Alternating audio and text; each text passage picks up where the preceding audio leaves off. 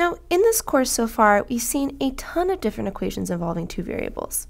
Things, for example, like y equals 3x plus 2. Now, if equations in two variables can express input and output, cause and effect, or some sort of other relationship involving dependence, then it would seem like the two variables in the equation would each play a different role. Perhaps it's that one of these two variables needs to depend on the other. Now, just like in this equation right here, a lot of the other equations we've seen at different parts of the class have been written in the same form, as y equals some sort of expression involving x. We saw that we could write quadratics in this form too, and there were a lot of situations in which isolating y by itself on one side was really convenient for solving for different quantities. Now those equations were all written in the form y equals some expression where x is the variable. And if we have an equation that's written in this form, which of these three statements down here do you think is implied? In an equation like this, does x depend on y? Does y depend on x?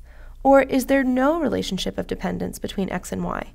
In other words, does one of these two quantities help determine the value of the other one?